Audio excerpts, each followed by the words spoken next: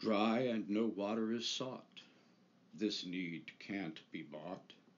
Sun and heat bring growth, These roots of mine are shallow.